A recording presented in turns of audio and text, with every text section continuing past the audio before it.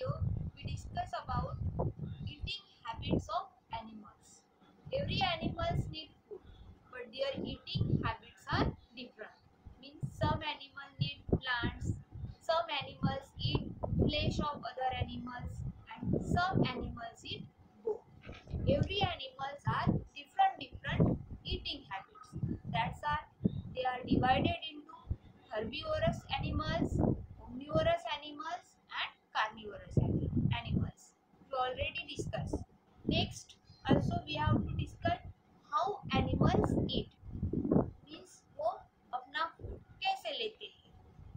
body structure, their teeth structure are different. Means जो भी food वो लेते हैं उसी हिसाब से उनका जो बॉडी स्ट्रक्चर है माउथ का स्ट्रक्चर है या टीथ स्ट्रक्चर्स है वो डिफरेंट डिफरेंट है किसी के पॉइंटेड टीथ होते हैं तो किसी के शार्प होते हैं कोई डायरेक्ट फ़ूड स्वॉलो करता है तो कोई ट्यूब से अपना फ़ूड लेता है ये सभी हमने प्रीवियस वीडियो में डिस्कस किया now today we have to discuss about food chain food chain every animals need food some animals eat plants and some animals eat flesh.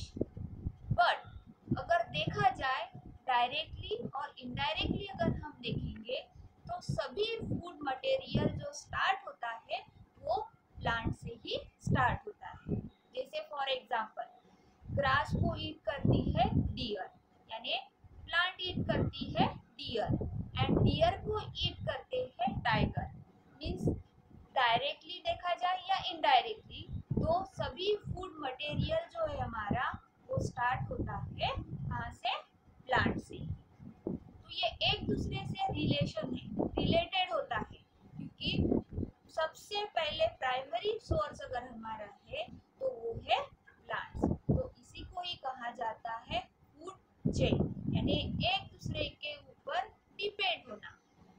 Plants के ऊपर डिपेंड है काऊ डियर उनके ऊपर डिपेंड है tiger lion ये क्या है? एक जैसे लिंक बन गई है चेन बन जाती है, और उसी को कहा जाता है food chain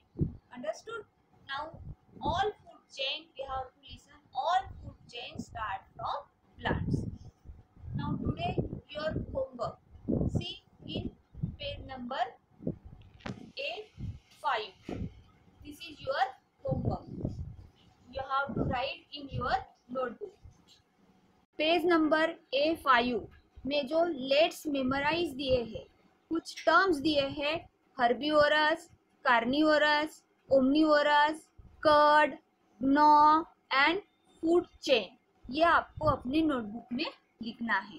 This is your homework next homework is your your next homework is let's recall page number A four A four में राइट ट्रू और फॉल्स ट्रू और फॉल्स दिए हैं, वो फाइव ट्रू और फॉल्स आपको अपने नोटबुक में कंप्लीट करने हैं।